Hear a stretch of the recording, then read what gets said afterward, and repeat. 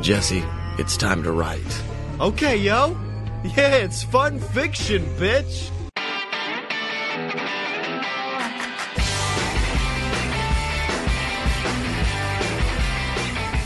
Welcome to Fun Fiction, ladies and gentlemen, the show about movies, media, and how the internet ruins it. I am your host, Scottye Moore, and this week I am joined by the man, you know him, you love him from Trending Lemon, Night Attack, and elsewhere, Bryce Castillo!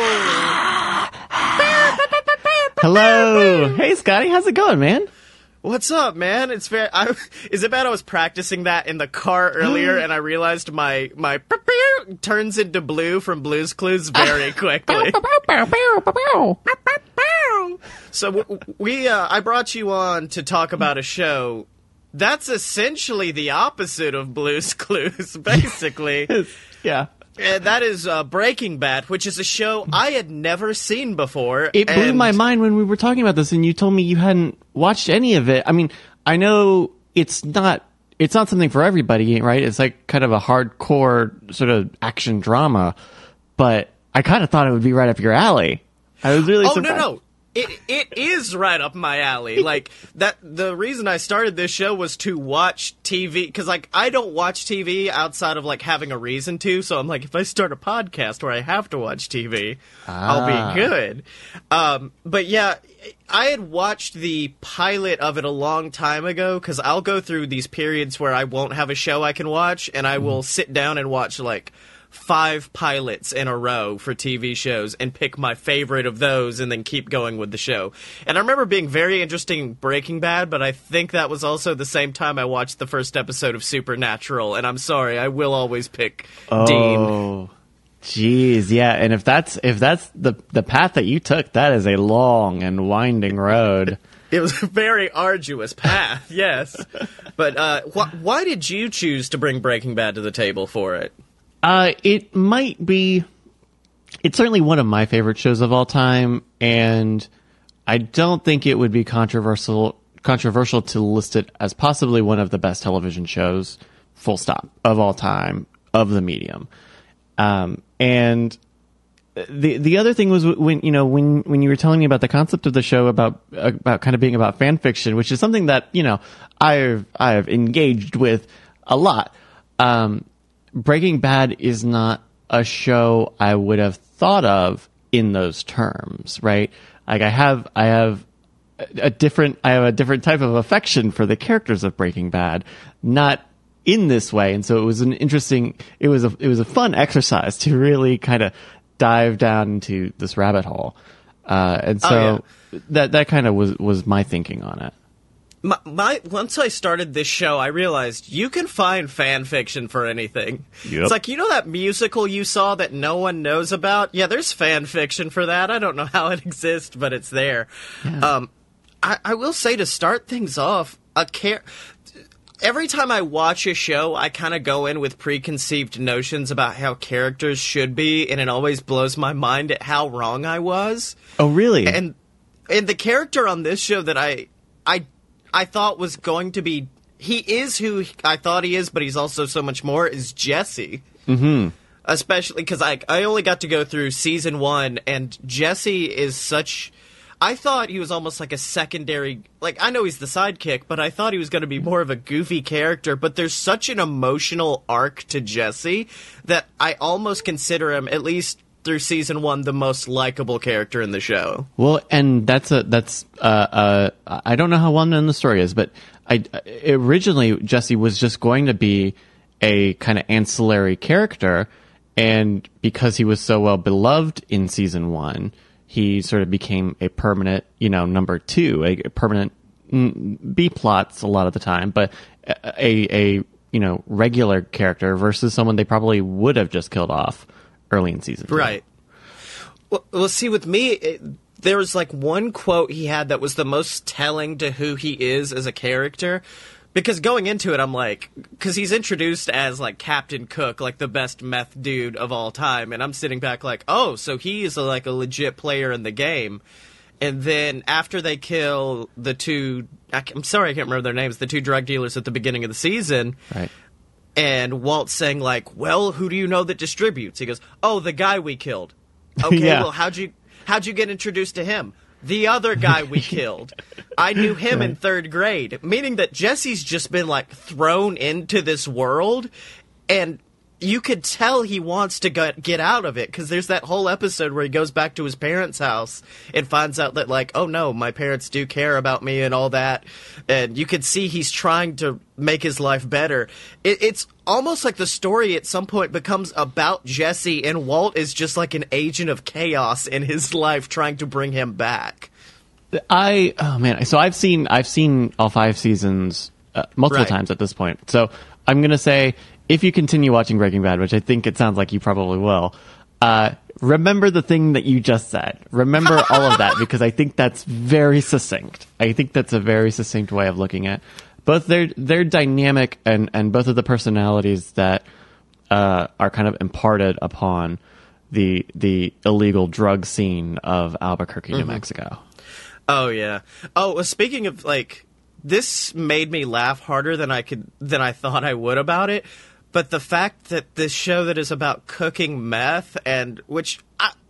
I don't know if I have a hierarchy of drugs, but I'd say meth is up there on probably worst. Sure. Um, the one scapegoat the show keeps going back to in the first season is weed. And they're just like, how dare you have this one joint in your room? it's like, right. okay. That, that that's like the big like linchpin of uh, Jesse's Jesse's episode when he goes to his parents' house is like weed. You brought weed, and and if anybody knew any better, you know that it would be it, it would be nothing. And Yeah. the fact that this this is supposed to take place, I believe in in oh geez the the early aughts, right? Like not even close to to modern day. uh, Yeah, yeah. Is is also like d- that kind of double reinforces kind of how flip they are about weed in in the grand scale. Yeah, yeah. Well, not only that, it's also like the same thing happened with Walt, where it's just like, I believe one of his exact quotes was just like, "You told her I sold you weed." Well, I preferred it to the alternative of telling her that I've murdered men and cooking meth, Yeah. and yet she still gets so upset that her husband is doing weed.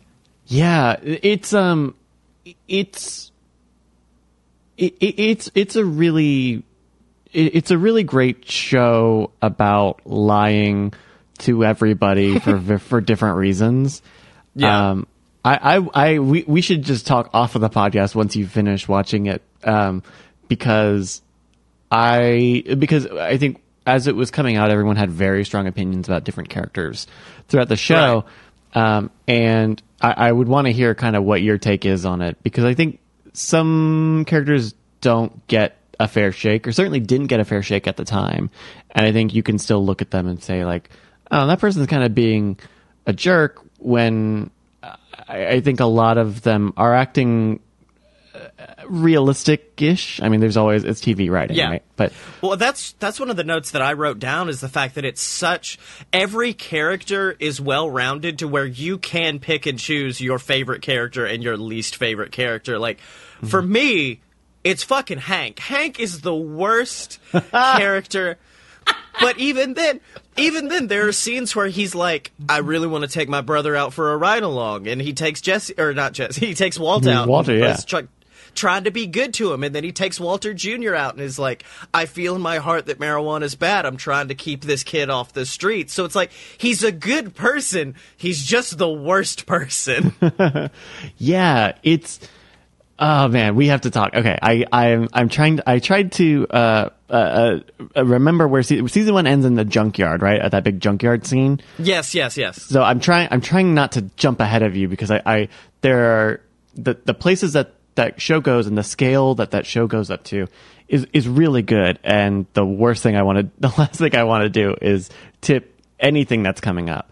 But it oh I'm bad about that I'm bad about like if I'm watching a show just being like I wonder what happens with this character and then googling it and being like okay like uh, I went to see Captain Marvel and the night before I googled the spoilers and it still didn't I'm not a person who spoilers ruin the experience that much for me because I Yeah. I kind of like it more because I can see the clues as it leads up to it Yeah, it's uh, there are uh, there are certainly films.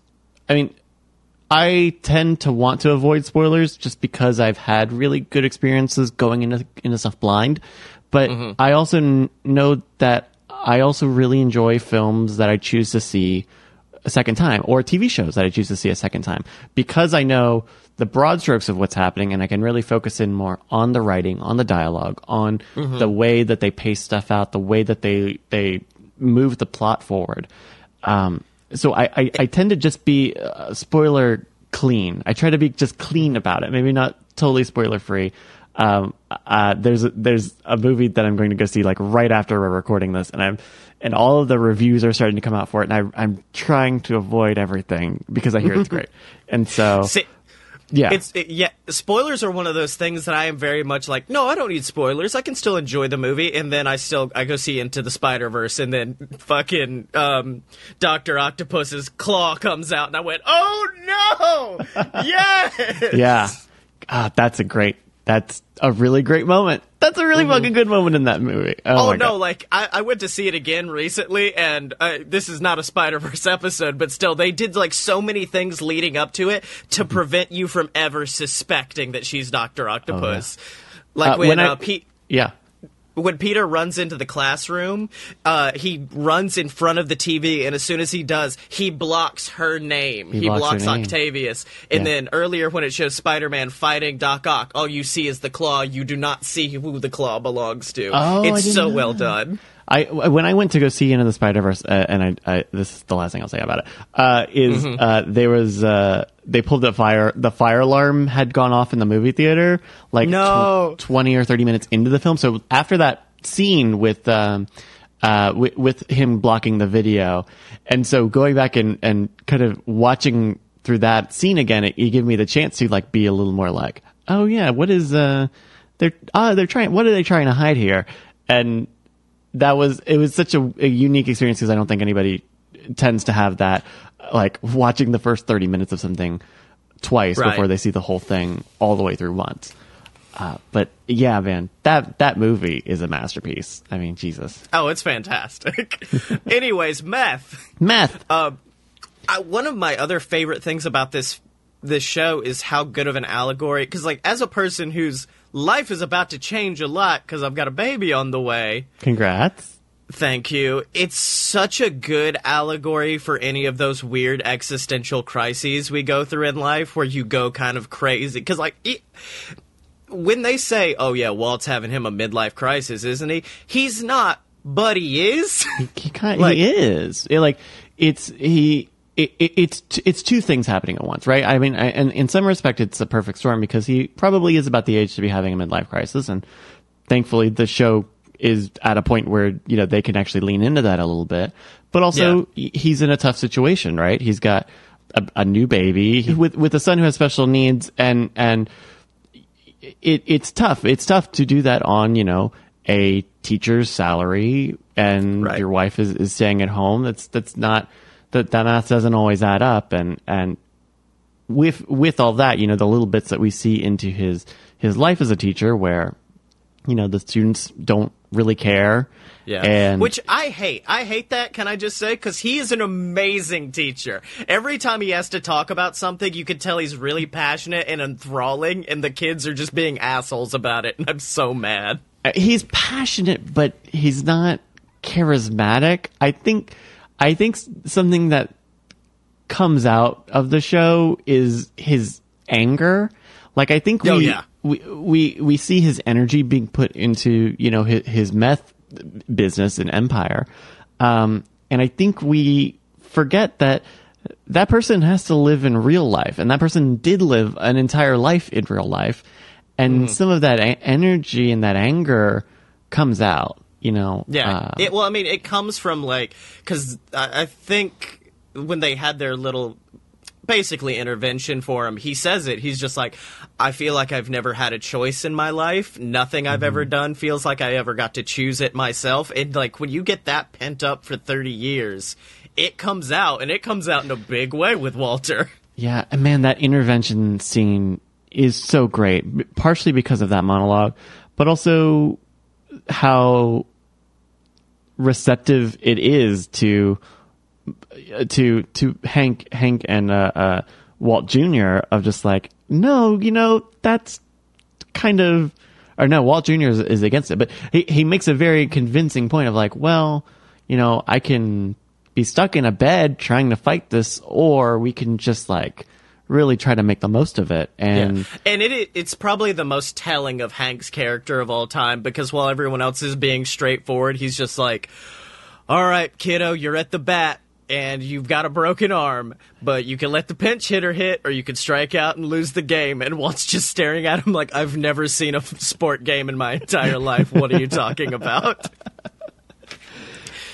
I one thing okay, so one thing about the other seasons, and I don't remember how much the first season leans into this, but there's a lot of really strong um, visual decisions, cinematography decisions in Breaking Bad, especially by the end of it, where they're really leaning into a lot of the landscape photography that they do. Oh, yeah. a lot of the unique photography that uh, they they do with different devices and uh, there's a scene there's a really great scene near the end where a barrel is being rolled and you just see it from the point of view of the barrel and it's this like nauseating rotating shot until it like falls out of this truck um it, i- is there much of that in this first season i don't remember It's very well shot. Like that's one thing I said about it. This show seems extremely polished.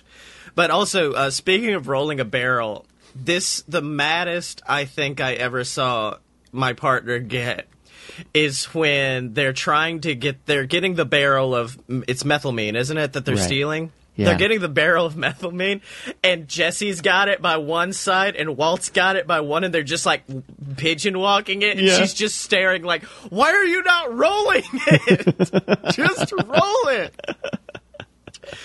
Um, but no, yeah. going back to the intervention scene, and another scene that I found probably to be the biggest hook that kept me in the show. Because like episode two's good but episode three finally got its claws in with what i described to be like the most enthralling probably 15 minutes of tv and it's where walt goes down to the basement to basically try to negotiate like hey why should i not kill you? Why should i kill you?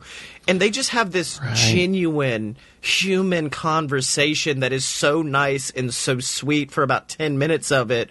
And then you see walt go back upstairs and pull the broken plate out of the trash can and realize like oh wait a minute. Everything he's just said is bullshit to me.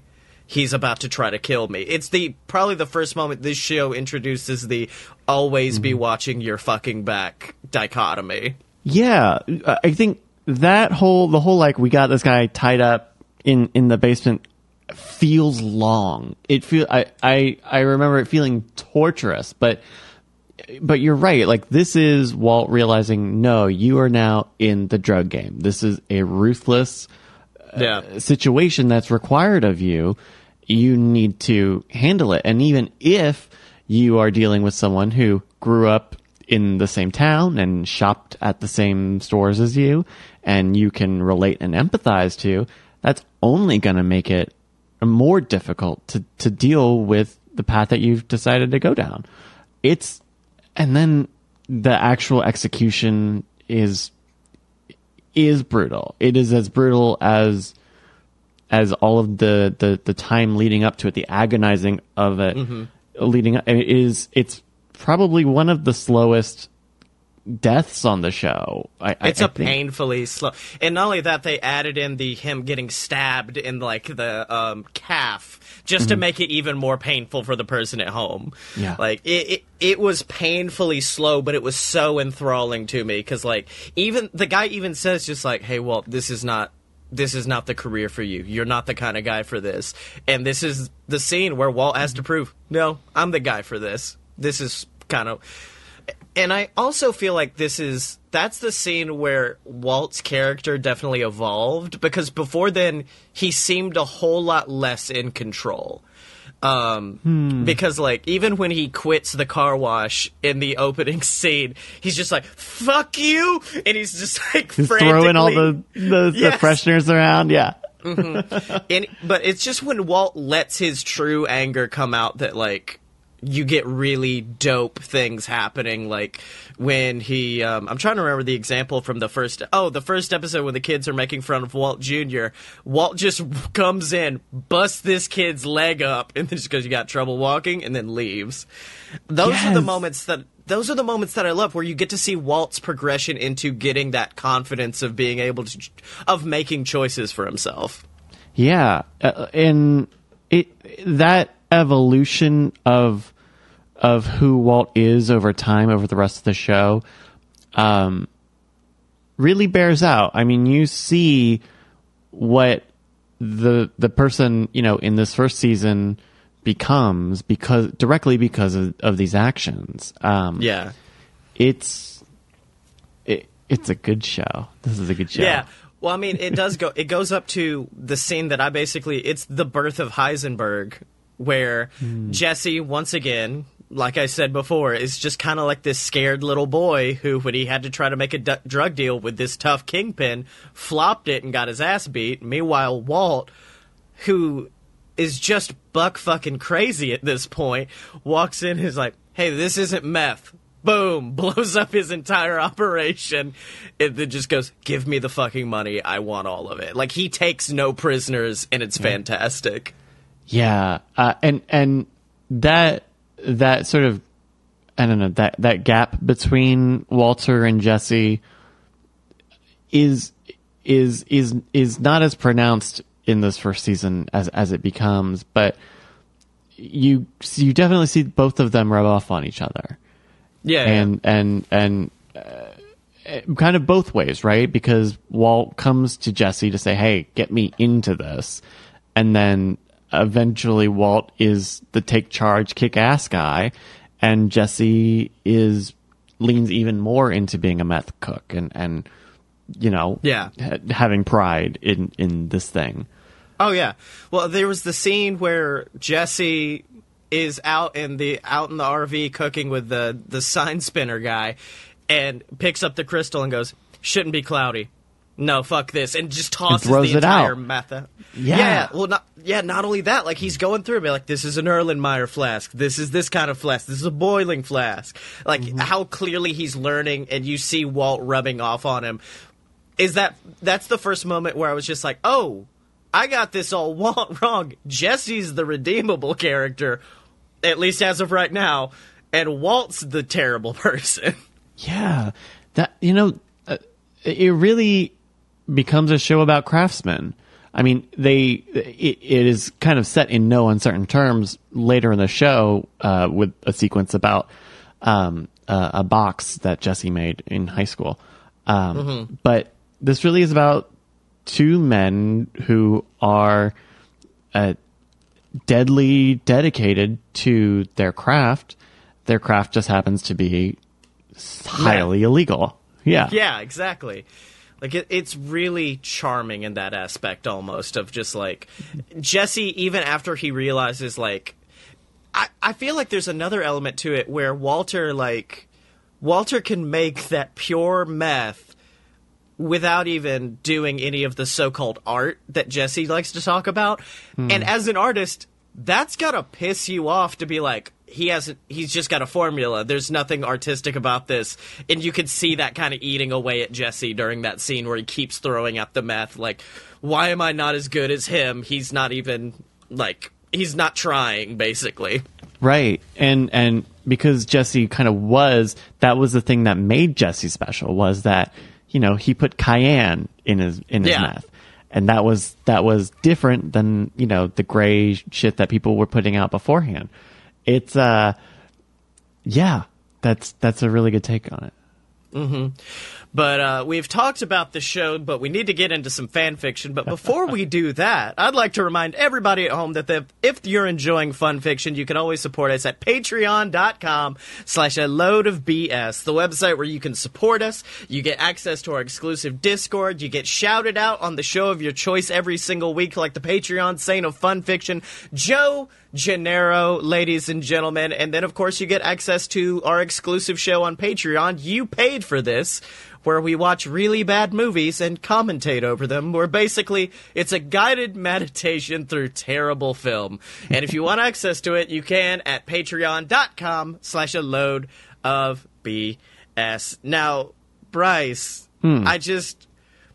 I feel so bad for what I brought to the table for my fan fiction this week. Because You were telling me it was bonkers, which Well- I feel like I don't The know how one- many of these you've you've done before, but you have to you must understand that fan fiction uh, rain, spans the gamut. It's the entire Oh, yeah. range of. Well, the one I wrote for segment three is bonkers. This one was actually submitted through a Reddit thread I posted a while back about, hey, do you want something read on a podcast?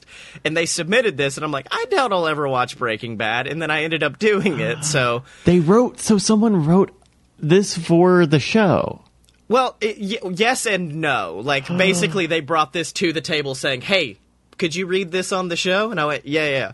So this is a crossover, but I will not reveal what it's crossed over with yet. Okay. Um, and it takes place. I actually I feel bad because you were trying so hard not to spoil anything in the last one, and this is spoiling stuff for me because this takes place. This takes place after episode one of season four, after Box Cutter.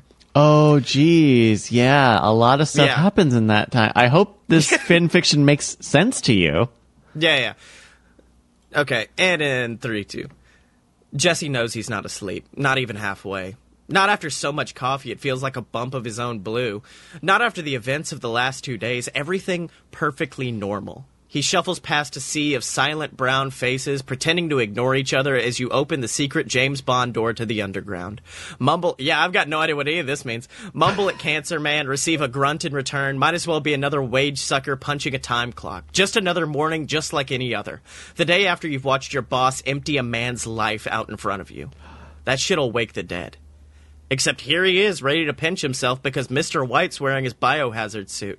But it's not even zipped up, sitting at one of the desks, sitting at one of the desks as he frantically scribbles in a notebook. And something that looks like a bunch of tin cans held together through mere magnetism and sheer force of will is flying around the lab like the love child of Speed Racer and Speedy Gonzalez, ah. literally bouncing off the walls. He descends the metal staircase like he's diving into maple syrup, nearly stumbling on the final step as the jumble of metal screams past him. It stops, resolving into a tiny shape. We're baking cakes! It screeches before zooming away, once more a blur. Jesse's confusion is only outmatched by disbelief. You built a robot? Mr. White ignores him, feverishly muttering as he continues to scribble. Finally, he stops, staring at the paper in front of him. My God. He looks up at Jesse, not even seeing him. It's perfect. What are you talking about? What's perfect? 100% purity. He says it with such awe and reverence. That kind that's only achievable in theory, never practice. The moment you expose it to air, oxygen, oxidization, back down to five nines at best. The tin can rolls up to Jesse, craning its tiny neck and fixing him with a blank stare. Hi, cow! What the hell? Bye, cow! The thing shrieks and rolls away. Because it's unstable, you see? The wondrous rapture on his old teacher's face reminds Jesse of those creepy audiences of the Jesus Sunday Power Hour. A trembling figure, finger stabs at the hastily scrawled equations. But this, it maintains integrity right up until the moment of ingestion. I never would have believed it was possible, but there it is. Jesse turns and looks at the bouncing tin can, currently sticking its head into one of the aluminum tanks. It shouts. Then it does it again, and again, and again until Jesse looks away with a growing headache. Look, Mr. White, seriously, this is the new normal. Walt starts to hand him the paper, then changes his mind and grabbing a, grabs a fresh sheet. I'll make a proce- process sheet for us to follow. Just simplify it a bit. Jesse should be offended, but he's too busy looking for hidden cameras. He finally gives up and gets changed. It's harder than usual to keep his mind on the job, and not ju- just because of bloody thoughts. He keeps thinking he sees a shadowy figure on the fringes of his vision, but it vanishes every time before he can get a bead on it. He knows he's not asleep or high, and he's starting to wish for either, or both. This is paranoia without the fun. Walt's muttering at him from across the table, but Jesse barely registers, too busy staring at their finished product, as clear as the sky, dark as the deep blue sea. It makes that first batch they made in the RV look like scum from a bathtub reject. His mouth is actually watering, and he has to swallow to keep from drooling. Knowing his partner is watching his every move as they break it up and shovel it, shovel it into Tupperware crates. He doesn't want it anyway, old habit talking. They're washed up and back in street clothes before he could find the nerve to speak. Hey, uh, Mr. White. Walt blinks and focuses on him, looking almost normal, whatever that is. Yeah? Are you. He nearly laughs it off. Are you okay? No, Jesse. Walt's voice is gentle, his gaze one of pity. I have cancer. I'll never see my daughter grow up. My wife left me when she found out I ma- manufacture substances of mass destruction, and I was indi- indirectly responsible for. He blinks and cocks his head like a pondering bird. For the death of hundreds of people. hey, you said that wasn't on us. Jesse knows he should. Jesse knows he should be glad to don't hear know this. what that means. Oh, I got a feeling. Like, if you told me at this point in the show that he hadn't been indirectly responsible for a lot of death, I'd be like, no, I don't think so. you said that wasn't on us. Jesse knows he should be glad to hear this, and yet it's all he can do to keep from grabbing Walt and trying to shake some sense into him. And he's not even talking nonsense yet. Look, I said a lot of things. Walt shrugs. It's obvious the cancer has gone to my brain, and I'm quite insane, so I'm just gonna. He makes a vague gesture with one hand. Roll with it. That didn't take long. But I see it too. Jesse hates the whiny pleading in his voice. Try as he might, he can't stop caring. You're not crazy. Oh? A fraction of the old condescending sneer makes his presence felt. So now you have a degree in psychiatry? Look, I don't need a degree in psychology to see a freaking robot flying around our lab, Jesse insists. Or this impossible batch of blue we just cooked up. Look, I know you're smart, but dude, there's no way you came up with this on your own. Walt's eyes narrow to slits and he grabs his coat, hiding, heading up the staircase two at a time, rattling metal with each indignant stomp. At the door, he stops, hand on the knob, not looking back. Just do your job. The door slams and Jesse stands there for far too long before feeling a tug on his pant leg. Hey, naughty, naughty, hey! He looks down to see the tin can holding an inflatable toy in its tiny upraised fist. Is that a. The can bounces again, its high pitched voice full of pride and excitement. It's my moose! Yeah, right. Jesse looks around the room again, then back down. The thing stares up at him with blank, hopeful eyes. You got any treats? Oh, Hey, hey, that was my last bag. I want toast! You do? I, uh, I think I got some bread. And a snake! And a wombat and a train and a gold razor with a slice of lemon and a. Jesus Christ, will you shut the fuck up? okay. Okay, jeez. Look, Jesus, I'm, I'm sorry. Look, have some fucking toast already. Crunch, crunch, you're better than my master. You're tall. Not exactly sure how I feel about that. That? Uh, that's a Roomba. It's like a vacuum. Hey, wait a minute. Oh, oh God, oh God. I like this good. The new normal doesn't even last two days before Jesse comes in to find GIR duct taped to a chair. Walt's pacing. No! Walt's pacing around his captive, trembling excitement transformed into rage. My wife is in hysterics because you couldn't keep your hands to yourself. Only poking the baby. Kicks his legs, but only succeeds in tipping the chair over. Jesse winces at the hollow clang of the robot's head bouncing off the cement floor. I don't care what you call it. Walt supplies extra emphasis by grinding his heel into the side of GIR's head. You tell your master that my family is off limits, understood? There is no need to tell Zim! The spidery form clings in the corner of the ceiling like a bat. Red eyes blink, realizing that Walt and Jesse are both staring back. Anything, it concludes, the majestic pronouncement somehow deflated. Jesse, Walt sighs. Meet the source of our new recipe. He comes in the next morning having no idea what to expect. The air filtration unit is gone, replaced with a throbbing, misshapen lump of metal that shines under the fluorescent like wet under fluorescent like wet flesh. As for the generator, their lab is apparently now running off a fleet of nuclear powered hamsters. I grow weary of this dismal facility. A coffee mug narrowly misses Walt's head and shatters against the far wall. When will Zim be free to reap the rewards of his labor? To march upon the conquered hordes of filthy, stinking earthbuds and make them cower like the vermin they are? You're not going anywhere until I'm satisfied. Walt glares at the alien for only a moment before returning his attention to the open notebook before him. The last thing we need is for my brother in law to see you and start connecting little green man theories. Zim is not a man. Look, give it a rest, Walt mutters. Zim is Zim. And Zim, Walt emphasizes, is not my boss. I answer to one man and I don't care what you show me. Gus Fring is a hell of a lot scarier than you. Zim's eyes narrow, utterly flat and devoid of pupil. Tell me more of this Gus Fring. Jesse knows knows he looks dubious. Are you sure about this?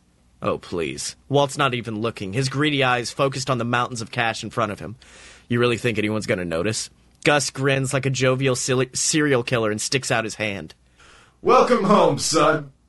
Darned robo parent programming? Zim growls, giving the remote control a hearty smack. Can't seem to erase it. As long as you're sure the real one's been dealt with. Walt glances over at Zim and a trace of doubt enters his voice. Because otherwise. Zim is the supreme crime lord! The alien puffs out his chest and straightens his back with little effect on his bearing and none whatsoever on his height. Yeah, hooray for you. Jesse tries and fails to keep the gloom away. Have fun with the cartel. The brain of Gus Fring now resides in the body of a common darter snail. This cartel, too, will face Erkin with wrath and crumble before it like a dry and crumbly cookie. All will kneel before. The alien runs out of breath and engages in a fit of dry and unproductive coughing, eventually squeaking out a final syllable. Zim! Where's it stop? Jesse wonders. Pickles! GIR shouts and throws his arms around Jesse's leg, gazing up in rapt adoration. Well, he supposes, things could be worse. At least he had a friend. The end. Holy shit, dude. Oh. Wow. I'm. Oh. That is very, very good. There was a journey back.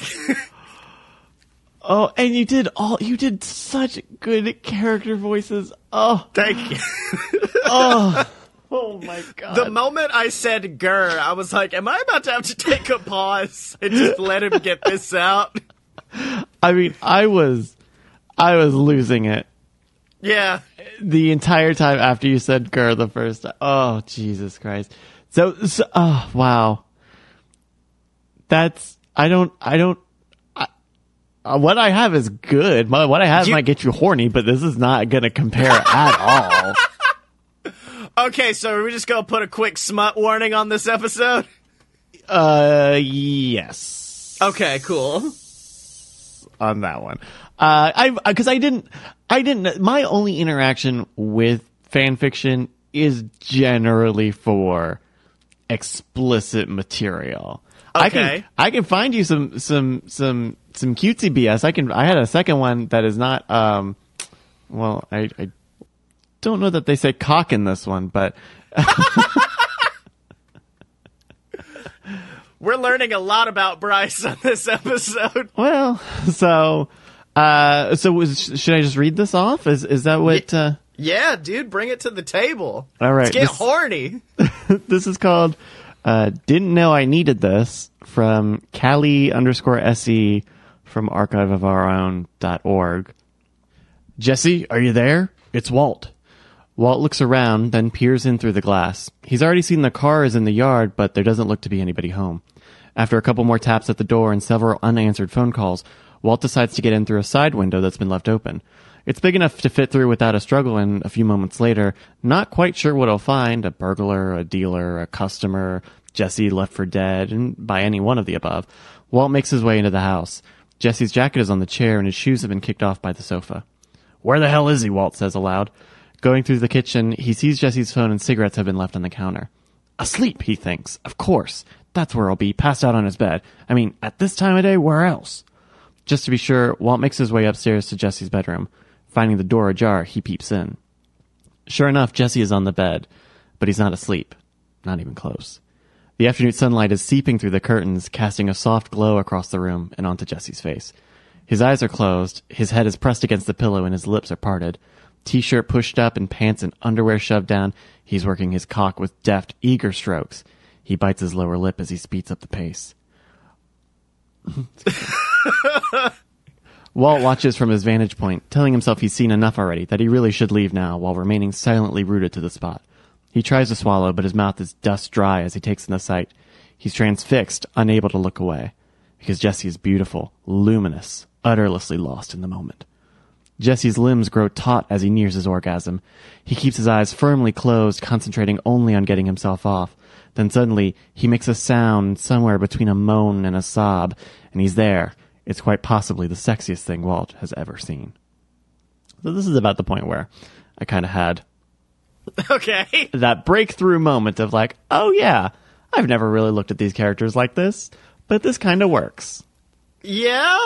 Kinda. Uh, kinda. All right. There, there's there's some more here. There's a, there's a, there's a, there's a there's a second half to this. Here we go. Uh, Walt is a little dizzy and undeniably aroused. Has he absolutely no idea I'm here? He thinks to himself as Jesse comes back down to earth. The thought breaks Walt's silence and his cover as a small sound escapes his unbidden, uh, as a small sound escapes unbidden from deep within him. He moves back, but it's too late. He hits the doorframe with his hand in his haste, making an even louder noise.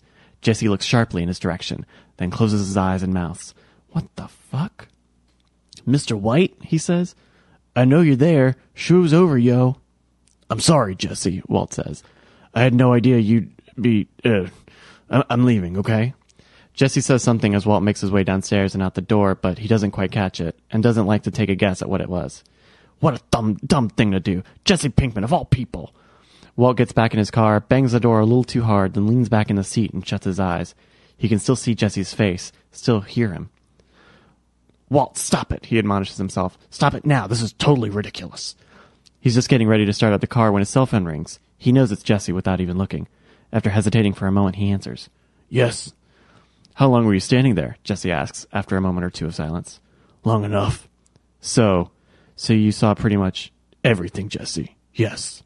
You broke into my house. The window was open. Okay, you climbed into my house and you spied on me. That's what you're saying, right? Well, I think spying was a little much. I don't. So did it turn you on? Oh God, no, Jesse, not in the least bit. No. Walt can't help but notice the disappointment in Jesse to- Jesse's tone. Not at all. Jesse, I don't wish to discuss this. I'm hanging up the phone now. I'll talk to you tomorrow. Walt clicks his phone off and starts to drive, not quite sure where he's headed. He can't go home, not yet. He parks up in a secluded spot and attempts to get his head around the situation. So, he stumbled on Jesse doing that. He didn't leave. Instead, he watched. But what's the big deal here? He was curious, right? Natural enough. It was the surprise, the shock that made him stay rooted to the spot. Walt sighs. No, he watched because he wanted to. Because it was Jesse. Because he liked it. Not sure if he should, but doing it anyway. Walt throws more caution to the wind, grabs his phone, and dials. Jesse picks up almost immediately. Mr. White? Yes, Jesse, Walt says. The answer to your question is yes. It turned me on, okay? I watched you because I liked it. Because it was hot. Because you were hot. There is silence for a few moments. Walt closes his eyes, shakes his head. Oh god, no. Stupid, stupid, stupid. So, are you coming back to my house or not? Jesse says. Walt doesn't need to be asked a second time. He's already halfway there. All he needs to do now is remember how to drive. So. Oh, okay. The. So. Oh. Pa- part of me wants to like, because we used to have a big no smut rule with my previous co This is what I meant when I asked if there were guidelines. This is what I meant when I asked about No. I much prefer my idea, which is I'm going to release two versions. Ah! Maybe one will, maybe one will be a Patreon exclusive of the Bryce Jesus. Castillo cut, smut cut, and Christ. then the other one, I'm just gonna go through like a movie on TNT and dub in just like Jesse was playing Mario Kart. Oh, Jesse was doing a game.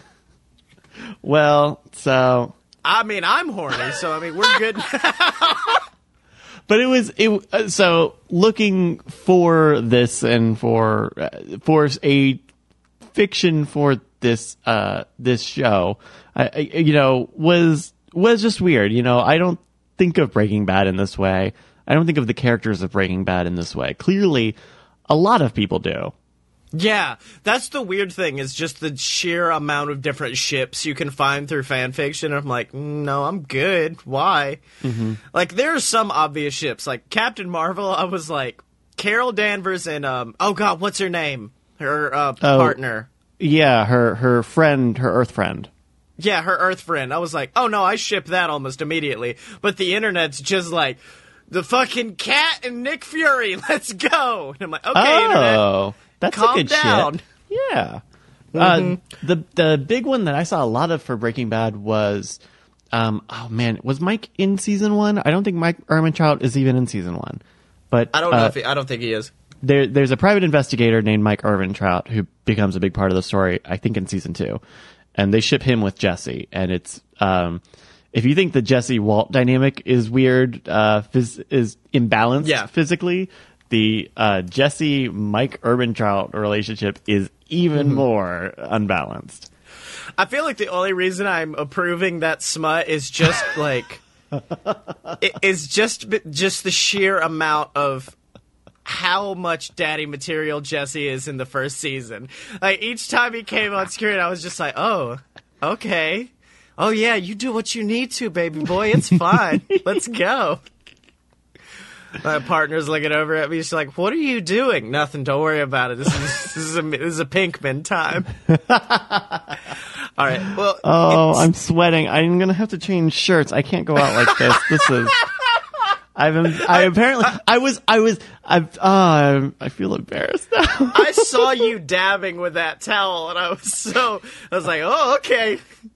Uh, but let's get into my fic. But before we Please do do. that, if uh, people don't want to donate on Patreon and prefer something more physical, they can always go to merch.aloadofpurebs.com, pick up some fun fiction merch, including the fun fiction it's weird or fan fiction it's weird in private shirt, which is the most applicable to this episode, I think.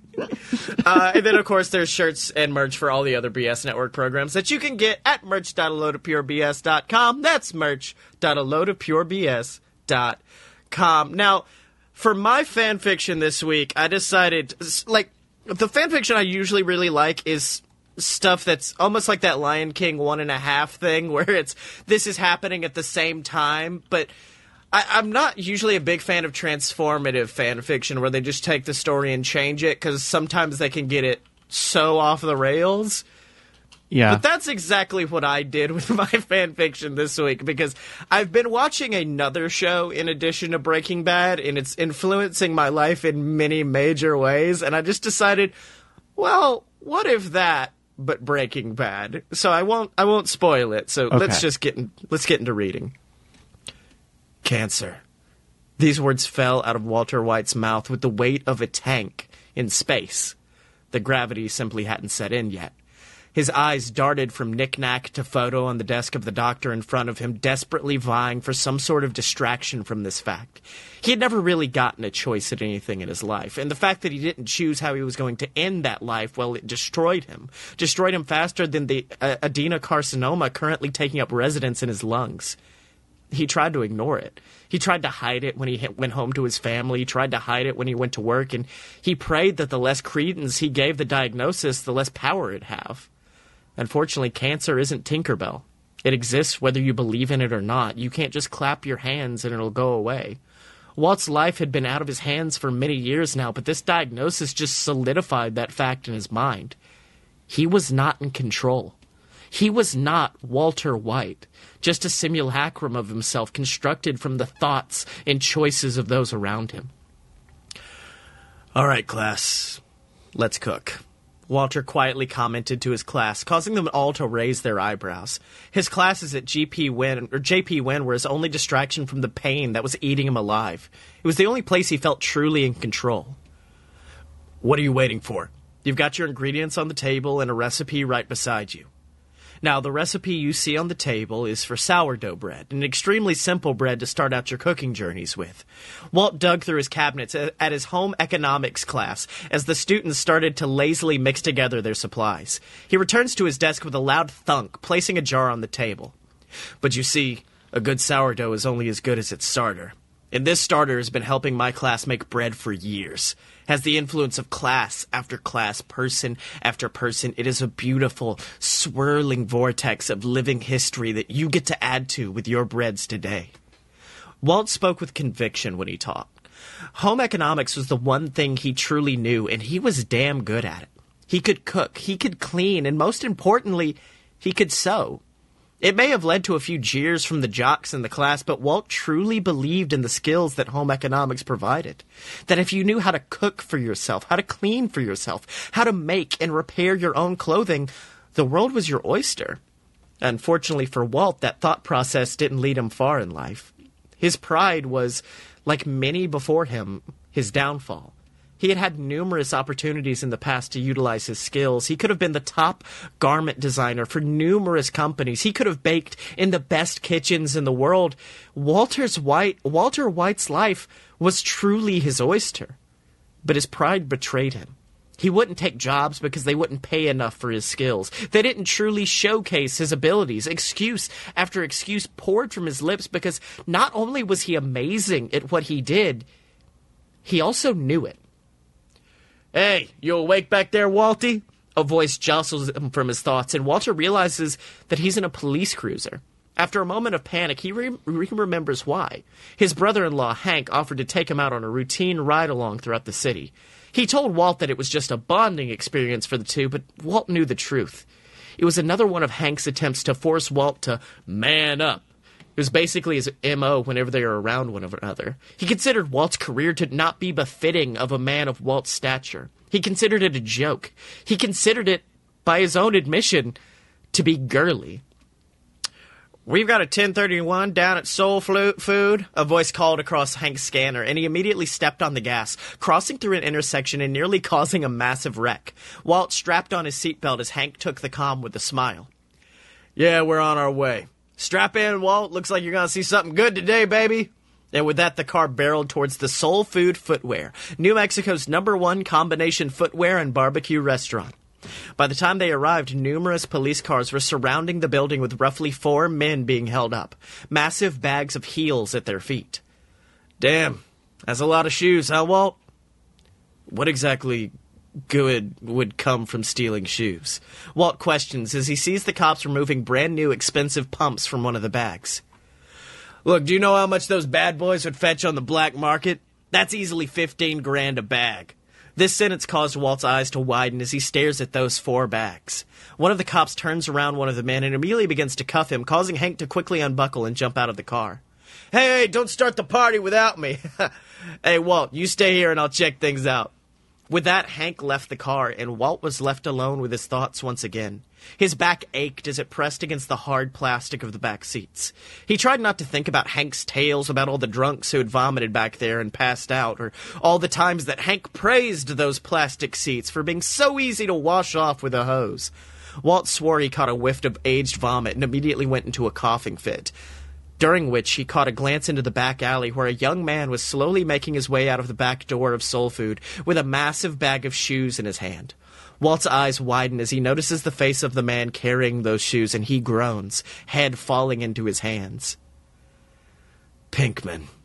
Roughly two hours later, the man known as Jesse Pinkman quickly pulled up to his home and hid his car from view before pulling out the massive bag from his back seat. He quickly rushes through each individual shoe, praying that he had gra- grabbed its mate before slinging the bag over his shoulder, preparing to enter his home. Suddenly, the sound of rustling leaves alerts him to the fact that he is not alone. Jesse quickly dives behind his car, reeling in the bag of heels closer to him. Hey, this is private property. Get out of here. Jesse yells in an attempt to get the intruder to leave, but to no avail. Footsteps continue closer and closer as a bead of sweat forms on Jesse's brow. Hey, what are you, fucking deaf or something? I said this is private property, yo. Well, so was that. A voice calls from behind him as it places a boot against the bag, pinning it to the ground. Jesse wasn't sure he was expecting to be on the other side of the boot, whether it be law enforcement, an angry shoe store manager, but the one person he damn sure didn't expect was his high school home ec teacher. Nice to see you're doing well for yourself, Jesse. Mr. White? Yo, what the hell are you doing here? I graduated a long time ago, and you ain't got no business coming in my yard to give me some come to Jesus meeting about going clean, okay? That's not why I'm here, Jesse. Oh, okay, let me guess. You want me to return this shit or something? Look, no way, man. They're charging $500 for a pair of pumps in that place. If anyone's a robber, it's them. And let me guess, you were only going to sell them for what? 250? What? You think I'm selling these things? With this statement, Walt seemed taken aback. You honest to God think there's some dark, deep black market out there for these dumb fucking heels with juicy written across the sole? Wait, then why are you stealing them?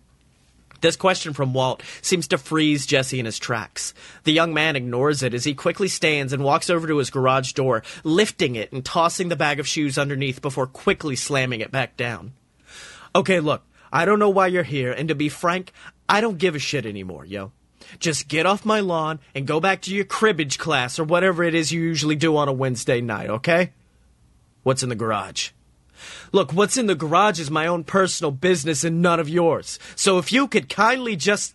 And with a quick move, Walt charges past Jesse and lifts up the door to reveal the most violently pink room that Walt had ever seen in his life.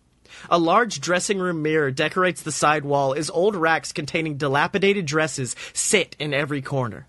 Walt's eyes struggle to take in everything at once as he passes pa- pushes past Jesse to take a look inside where he discovers a large poster. The Pink Lady. Now performing at the Double Helix, Walt reads the words of the poster out loud as he surveys the woman on the poster before taking a long, hard look at their face. Is that. Pinkman, is that you? What? No, no, no, dog. That's that's that's that's not me.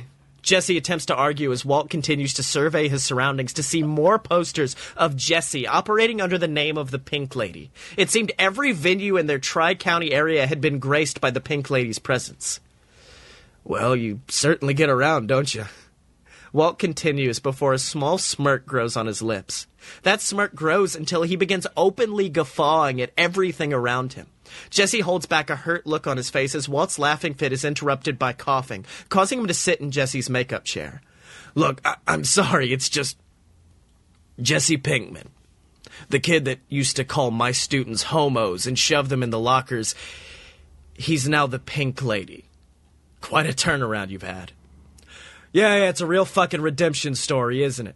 Now, could you kindly get out of my makeup chair and get the fuck off my property?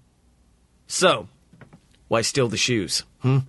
Seems like you're making good money doing shows every weekend. Why steal? Okay, look, did you not hear me earlier? In this world, you gotta spend money to make money. If you don't look like everything on you is custom made or cost a thousand dollars, there's no point. And those club owners don't care that you got a house payment to make or bills to pay or a family to feed. They want to see you come back in something new with a whole new show every single weekend. Look, you and I both know no normal person can afford that, Mr. White. Then why not make your own? Walt asks while running his fingers through an old dress in a pile that Jesse has labeled burnt looks. What? What are you talking about? I'm saying that you don't have to throw away every piece that you've already used. You can tear it up, reuse the fabric, make something new. I mean, you've got a sewing machine right there. Just use it. Yeah, I, uh, yeah, I tried that once. Jesse comments as he walks over to a rack, pulling off a horrifying ensemble featuring torn holes all throughout it and misplaced stitches hid by knotted chiffon. And they booed me out of the venue. Do you not see the importance of taking my class now? Oh, yeah, yeah. Thanks so much, Mr. White. I'll be sure to take my time machine and tell myself to take home ec to prepare for being a drag queen to pay my fucking rent. Look, let me help you. With these materials, I can make you the most stunning dress you've ever seen. All I ask is for a cut of what you make at the shows, and I'll make everything you could ever dream of. Why are you doing this? Jesse asked with a raised eyebrow, confused as to why Walter White would suddenly try and cut a deal with him. Instead of responding, Walter immediately goes to work, grabbing old matching dresses and cutting them apart with fabric scissors. Hey, those were expensive! And they look like crap. What I make will cost next to nothing and look ten times better than this store bought bullshit. Jesse's eyes widen as Walt makes this proclamation, instead opting to watch the master work as he continued to recycle old pieces of Pinkman's burnt looks pile into a beautiful dress. By the end of two hours, Walt stepped back to look at his piece, a beautiful two-tone dress with pink chiffon dancing around blue silk. Holy shit, Mr. White, you're an artist, yo! It's not art. It's just home economics. Thanks, Mr. White. And with that, Jesse grabbed the dress, a matching pair of heels in his makeup case, and rushed out the door, heading to his next gig. Walt laughed as he saw the sheer amount of glee that his work had instilled in Jesse before a coughing fit caused him to back down into the makeup chair. It was at this point that Walt had finally seen his face for the first time in a long time. He had hid from mirrors, hid from himself, but Walt felt that he was ready to be seen once again. He leaned forward and slowly clicked the button that illuminated the numerous round bulbs around the makeup mirror and stared down at the menagerie of makeup before him. He slowly reached forward and grabbed some foundation, slowly applying it to his aged face. Concealer helped hide the bags that he had developed over the years, and he continues that process by filling in his eyebrows and donning some blue eyeshadow. He winces as he, as he attempts to put on mascara before ending the entire process with an application of blush. He stares at himself in the mirror and he still seems not quite there, not fully formed. And with that, he looks over to see a bright blue wig that Jesse kept on a shelf and slowly walks over, placing it on his head. The addition of some jewelry from Pinkman's box made the look complete as Walt returned to the mirror, slowly sitting before it. And for the first time, possibly ever, when Walter White looked in that mirror, Walter White looked back the true Walter White, the true man, no simulacrum, no falsehoods, no pretending.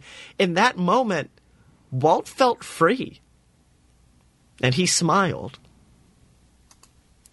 The end. That's great. Oh my gosh. Oh man, I've already like planned the first season. They end up on RuPaul's Drag Race, like everything. Walt's drag name would be Crystal Blue Sky. Like, Oh god, that's good. yeah. Man. Like, I just- how- so like how do you how do you even get to that idea of like I mean alternate universe fan fiction is very common. Yeah. I- I don't know where it came from because like I I came up with the idea before I had even started because I knew the premise of the show and so I sat down I was like, well why don't I watch the first episode and I just rewrite it? But what if instead of making meth they did something else? Oh, what could they do instead of making meth? And then I just looked and I was watching RuPaul at the time and I was like, hell yes. It's it's also just a funny thing to put against it, I guess, because people are so used to mm-hmm. it being that dark show, and so I'm like, okay, take the dark show and the brightest show on television and combine them together. When also a very masculine show. I mean uh, uh, Do you mean Breaking Bad or RuPaul's Breaking Bad. Uh, Breaking Okay. Bad, yeah. I mean uh, conventionally masculine, right? Like Yeah, yeah. that's that's so good. That's very good. And Thank you. just heart heartwarming. I love it. So thank you for joining me for this episode of Fun Fiction, Bryce. Would you have anything to plug to the people out there?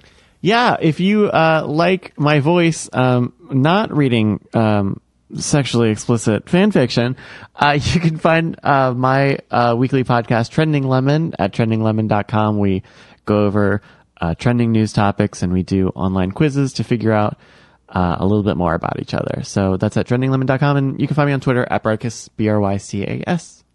Is that how it's? Pr- I've always pronounced it Bryce ass, and now I'm happy that I know it's not right. I don't get a lot of the Bryce ass. Usually, usually people stumble into Brycas just fine.